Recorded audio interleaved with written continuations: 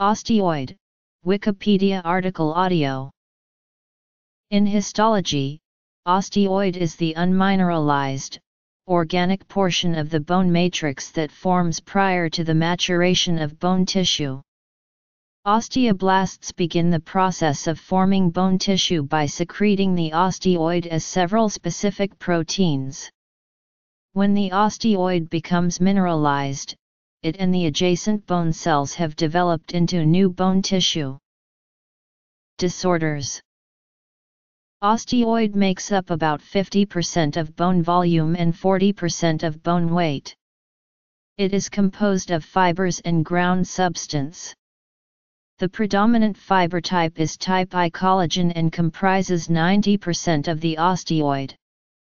The ground substance is mostly made up of chondroitin sulfate and osteocalcin. When there is insufficient nutrient minerals or osteoblast dysfunction, the osteoid does not mineralize properly, and it accumulates.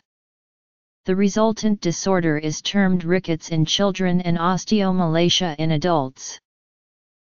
In some cases, secondary hyperparathyroidism can cause disturbance in mineralization of calcium and phosphate.